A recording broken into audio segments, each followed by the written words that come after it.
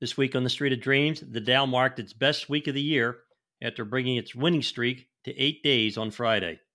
Both the Dow and the S&P were higher, while the Nasdaq Composite was down slightly. Market rose in spite of the University of Michigan's Consumer Sentiment Survey coming in weaker than expected on Friday as one-year inflation expectations rose.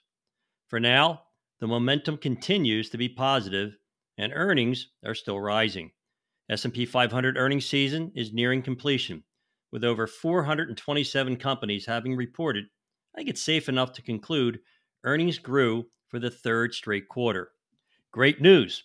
And you might conclude that this current big booming bull market is in reaction to that string of three positive quarterly earnings reports. But that's not how markets work. Markets always move first and early in anticipation of coming events.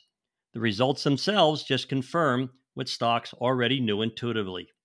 Markets are forward looking, while earnings results look back in time, only confirming on why stocks did what they already did. Reported earnings are confirmers, not predictors.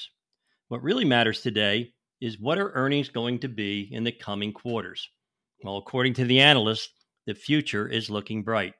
Consensus analyst expectations for the S&P 500 earnings per share edged up for both 2024 and 2025 during the week. As a result, S&P 500 forward earnings per share rose to yet another record high.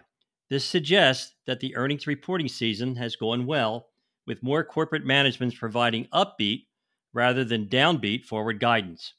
And that's why it's so important to stay invested. Everyone knows and follows the PE ratio. That's the price of the market, the P divided by its earnings, the E. As I always say when it comes to investing, there is no P without E. And if earnings meet the record high of analyst expectations in a forward looking market, the P will be there long before the E.